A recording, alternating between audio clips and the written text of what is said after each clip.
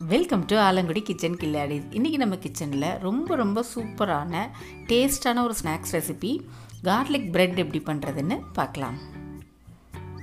Garlic bread செய்ய தேவையான பொருட்கள். முதல்ல ஒரு பவுலில் ஒரு டேபிள் ஸ்பூன் அளவுக்கு ஈஸ்ட்டு சேர்த்துட்டு அதில் கொஞ்சமாக தண்ணி ஊற்றி ஊற வச்சுக்கணும். ஈஸ்ட் நல்லா கரைஞ்சிரும்.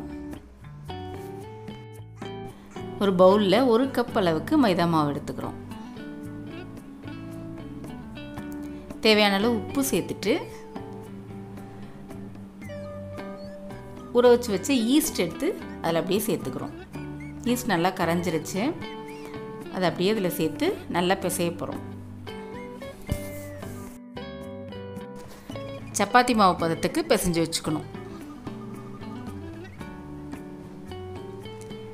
தேவைப்பட்டால் மட்டும் கொஞ்சமாக தண்ணி சேர்த்துக்கலாம்.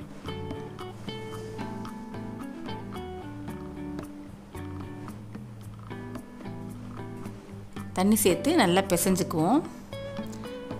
நல்லா சப்பாத்தி மாவு பிசைஞ்சாச்சு. இப்போ அது கூட உருக்கின வெண்ணெயும் சேர்த்து நல்லா பிசைஞ்சு வச்சிடுறோம். பிசைஞ்சு ஒரு மணி நேரம் நல்லா ஊறட்டும் இந்த மாவு. இந்த நேரத்தில் அதை மேலே அப்ளை பண்ணுறதுக்கு ரெடி பண்ணிக்கலாம். அதுக்கு கால் கப் அளவுக்கு உருக்கின வெண்ணெயை சேர்த்துக்கிறோம். கூடவே இருபது பல்லு பூண்டு பொடியாக நறுக்குனது அதையும் சேர்த்துட்டு பொடியாக நறுக்குன கொத்தமல்லி இலை கொஞ்சம். அதுவும் சேர்த்து நல்லா மிக்ஸ் பண்ணி வச்சுக்கிறோம். நம்ம பிசைஞ்சு வச்ச மாவும் ஒரு மணி நேரம் நல்லா ஊறி சூப்பராக ரெடி ஆகிடுச்சு நல்லா சாஃப்டாக இருக்குது அதை அப்படியே ரெண்டு பார்ட்டாக பிரிச்சுக்கிறோம். பிரித்து நல்லா உருட்டி எடுத்துக்குவோம்.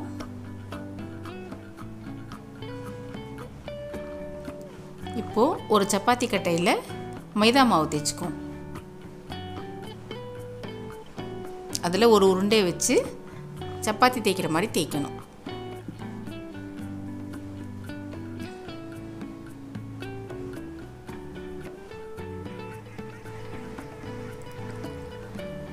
ரொம்ப நைஸாக தேய்க்கக்கூடாது. அப்படி தேய்ச்சா ரொட்டி மாதிரி போயிடும். இந்த அளவு கணத்தில் தேய்ச்சிக்கணும். கொஞ்சம் கனமாக இருந்தால் தான் நல்லா சாஃப்டாக இருக்கும்.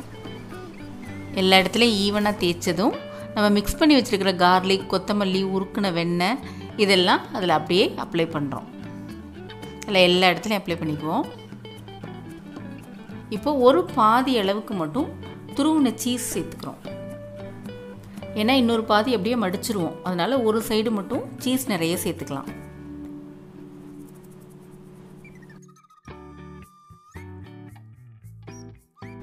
சீஸ் சேர்த்ததும் அது கூட கொஞ்சமாக ஒரிகனோ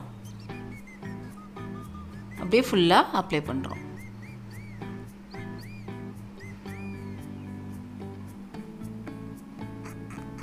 அதுக்கப்புறம் அது மேலே சில்லி ஃப்ளேக்ஸ்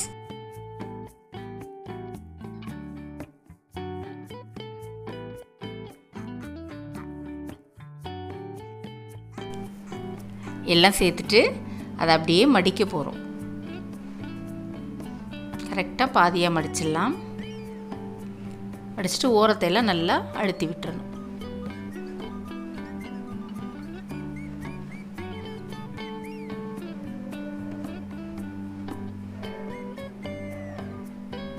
இப்போ அது மேலே திரும்பவும் அந்த கொத்தமல்லி கார்லிக் பேஸ்ட்டை அப்ளை பண்ணுறோம் கூடவே இன்னும் கொஞ்சம் ஒரிகானோ இன்னும் கொஞ்சம் சில்லி ஃப்ளேக்ஸ்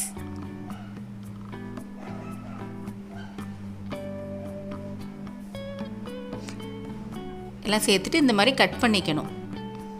ஃபுல்லாக கட் பண்ணிடக்கூடாது. ஃபுல்லாக கட் பண்ணால் தனித்தனி பீஸ் ஆகிடும் அந்த மாதிரி கட் பண்ணாமல் முக்கால் வாசி அளவுக்கு கட் பண்ணிக்கணும். இப்போது ஒரு தவா அடுப்பில் வச்சு பட்டர் அப்ளை பண்ணிக்கிறோம்.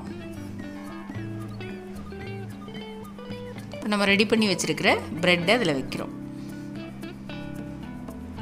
அடுப்பை வந்து லோ ஃப்ளேமில் வச்சு மூடி போட்டு வேக வைக்கணும். ஒரு அஞ்சு அல்லது ஆறு நிமிஷம் ஆகும் ஒரு சைடு நல்லா வேகிறதுக்கு. நல்லா வெந்திருக்கு. அதை அப்படியே திருப்பி போட்டுடுறோம்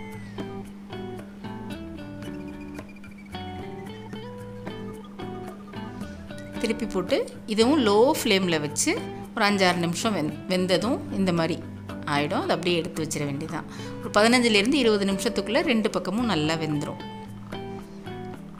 அவ்வளோதான் நம்மளோட சூப்பரான டேஸ்டான கார்லிக் பிரெட் ரெடி ஆகிடுச்சு வேணும்னா இன்னும் கொஞ்சம் சில்லி ஃப்ளேக்ஸ் சேர்த்துக்கலாம். சேர்த்துட்டு அதை அழகாக கட் பண்ணி மயோனஸ் தொட்டு சாப்பிட வேண்டியது தான் சூப்பராக இருக்குல்ல சீஸியாக நல்ல டேஸ்ட்டாக இருக்கும். நீங்கள் ட்ரை பண்ணி பார்த்துட்டு உங்கள் பதிலை கமெண்ட்ஸில் சொல்லுங்கள் கூடவே நம்ம சேனலையும் சப்ஸ்கிரைப் பண்ணிக்கோங்க. நன்றி.